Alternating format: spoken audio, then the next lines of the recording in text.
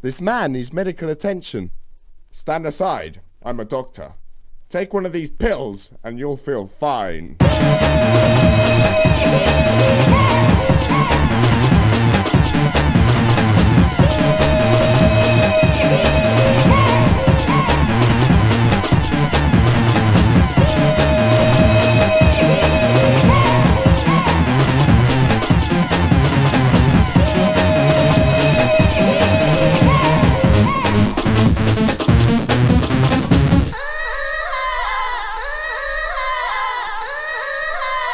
Back to the base.